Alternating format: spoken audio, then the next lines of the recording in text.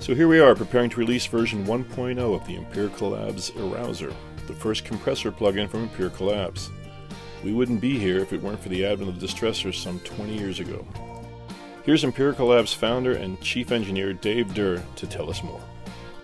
The Distressor is kind of the result of my fascination with compression from when I was in a band many, many years ago. And I started a studio and we had an old 16 track, two inch machine, um, M56. Uh, and that thing had an unbelievable sound. So between those two things and the fact that I finally was able to afford at one point an 1176 and a LA2A, uh, the Gainbrain 1, um, those three compressors uh, really changed the sound of my studio. So in that time, there was actually no production on several of those devices. So I wanted to have more and I wanted to find out, as I was working at Eventide a few years before, why did those change my studio? And the answer was some technical stuff, but also some control stuff. Uh, big knobs, stuff like that. So we wanted to capture I wanted to get back some of that sound when I started to go to digital and we created a box that had big knobs, had a look and feel like the old stuff and also offered some of the tape nonlinearities. And with the new technology of ICs, we were able to switch stuff around and pull off some features you could never do 10 years before. How did we get from there to the Arousor? We had people wanting the distressor as a plug-in since the beginning. And so it was kind of a no-brainer that we had to do it. The problem was uh, I always learn stuff as time goes by. Why would I limit myself to just the features in the distressor? So I know it, some folks get perplexed by it, but we feel all the stuff we added is an enhancement and of course, you get all the badass stuff you get in the DAW, like presets, recall, all that stuff is just, you can't disavow it any longer. So doing a plug-in of the distressor with enhanced features was a very obvious step.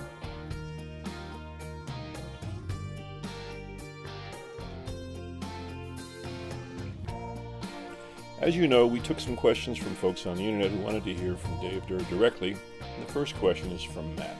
He wants to know what aspect of the distressor was the most difficult to capture in the digital realm when creating the Arousor? Generally, the attack and decay are a big part of the sound of the distressor. We basically modeled the actual circuit component by component to achieve the sound of the distressor. And unfortunately, when you do that stuff, problems crop up and you end up having to sometimes take shortcuts or uh, a broad model approach, which we tried to avoid. But for instance, the distressor attacks very, very fast and without chomping. Uh, so it's hard to get that smooth attack. That was one of the hardest things. Once we got the attack, uh, it was a matter of spending uh, days grinding out the ratios, the curves. Uh, so much of the stuff was very easy. For instance, uh, doing the side chains, EQs, very trivial. Doing the input output, very trivial, although getting the ranges right is very hard. But generally the attack and decay, the saturation, uh, which is, isn't a huge part of the distressor, basically became a bigger part in the Arousor and we were quite pleased how easy it was to make it even more adjustable. Joshua asks, even with such high expectations, you managed to make the most versatile piece of gear even better. How? That's an interesting question. Once we got the attack and decay right, which we spoke about before, and the curves, the digital domain just offers all kinds of easy extended features. For instance, the high pass, having that sweepable, very, very trivial, very, quite a bit harder in analog domain. And so it was with many things. Some stuff is so obvious Um, even stuff we haven't actually implemented yet, uh, when we put it in, you will go, oh, yeah, they needed that. But generally, uh, just more ratios, very easy to add, more sidechain filtering, the parametric EQ, very easy to add. The Atmod, which is not adjustable in the distressor, was not very easy to add, but uh, after a couple weeks of tweaking, uh, it became indispensable. So basically, some of the stuff was very, very easy to add, and some of the stuff we just basically extended the range or control upon. Dan says that the manual states there is actually a Class A circuit inside. Can you please explain what that is, how it is achieved, and how it works in relation to hardware Class A devices? A Class A device was originally almost all electronics were Class A. Um, just the nature of electronic progression. Um, usually you start out with these Class A with a single power supply. And what you had to do, uh, if you have ground and this is your plus power supply, um, what you usually had to do to get a plus and minus signal is bias, this is with no signal. So somewhere in between the rails, you had to bias a point. That is a Class A circuit where it's not biased at ground. That's one of the basic definitions of it. So it swung between ground and whatever your rail was. Um, the thing, the reason we even wanted to do that is Class A, as everyone that's been in the industry for a while knows, has a sound. Um, it adds harmonics in a certain way um, that actually improve the sound, especially at low level. What we did is we have in the saturator, uh, we had to do a class A type emulation where basically we had to bias something and it created all kinds of problems. I bet we spent, I mean, I hate to talk money, but we probably spent ten to $20,000 fixing the problems of that resulted from the Class A circuit. As an example, uh, some of the offline bounces would have a pop at the beginning because again, it was not biased at zero. So when you punched in, you punched in at a voltage and pop, you get a clicker pop. Uh, and it, a lot of guys that do DSP have probably been through this. And of course, stuff pops up that you don't think about. We never really tested the offline bounces nor thought about it.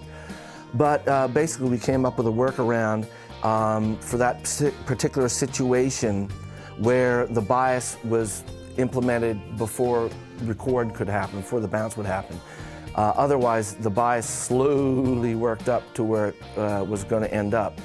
Um, but that was a problem. And again, it's a, it is a part of the sound, especially with low level stuff right now. You, you will have some even harmonics coming out of the saturator.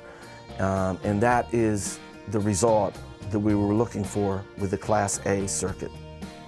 You know, I could bullshit all day long here, but we're talking about a piece of equipment, and I think if we just pull up the plug-in and apply it to an audio track, I think a whole bunch of questions will be answered without any talking, well, a little bit of talking. And I think you'll get an understanding that you won't get with talking.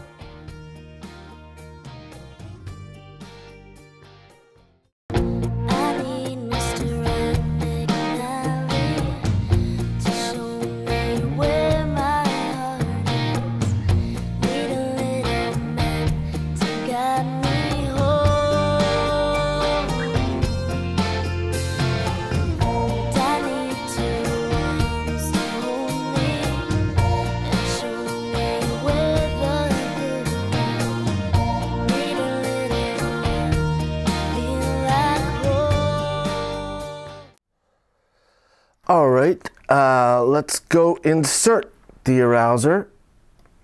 If you notice, again, for speed, we bring the Arousor right up at the top. It starts with an A, so you can immediately find it. Also, notice I am inserting it before the EQ. Normally, I would do it after the EQ, especially if I was boosting highs. In this case, I'm actually cutting the highs, so I'm going to put it before the EQ. although it really won't make much difference. Lastly, I'm going to up the ratio one notch to 8 to 1, one of my favorite, and I'm going to put the unit in bypass because we're going to have to match some levels here. With a compressor, it is very useful to compare the bypass level and the unbypass level and make them match to your ear. To match levels, we will usually use just the output knob as this is a knee compressor and the input will not matter so much. So you're going to be using this knob here to match the unbypassed with the bypass level. Also, don't forget our handy direct entry. To get back to where I was, which was at 8 dB, you can just double click the middle of the knob, type in 8 and enter, and voila, you're right back. Very useful.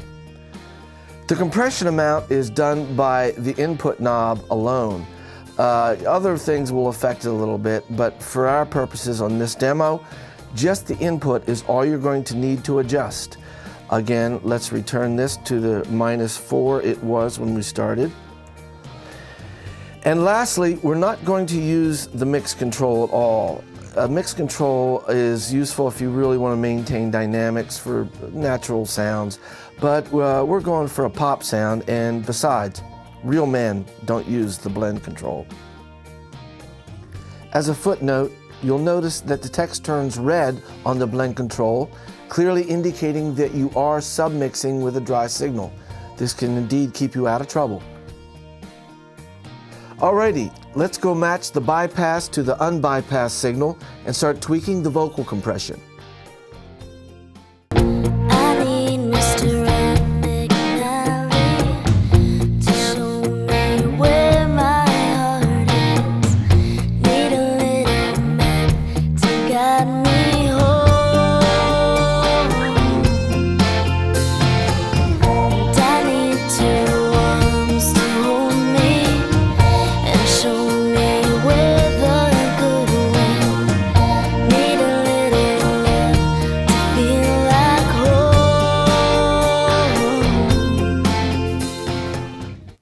Now that we have a basic sound going, I'm going to make a few offline tweaks.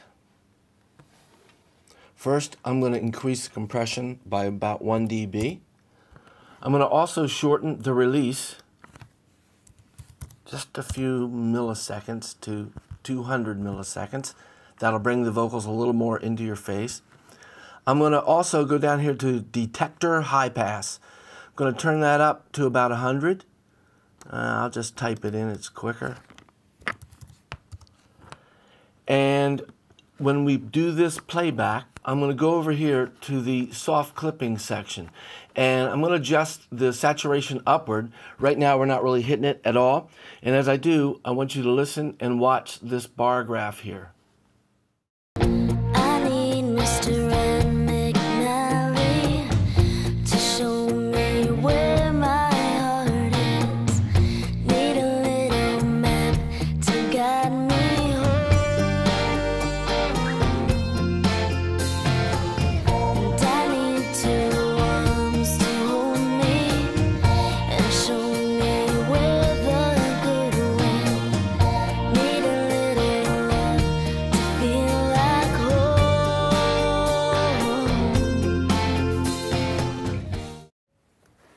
And there you have a pretty dang fine vocal sound. Pretty easy. By the way, all the compression on this track is all Arousors. Uh, we'll do a pan here at the end. You can see the whole thing as we play the outro and you get to hear the finished vocal settings. Empirical Labs is proud to announce the full release of our Arousor plugin, Rev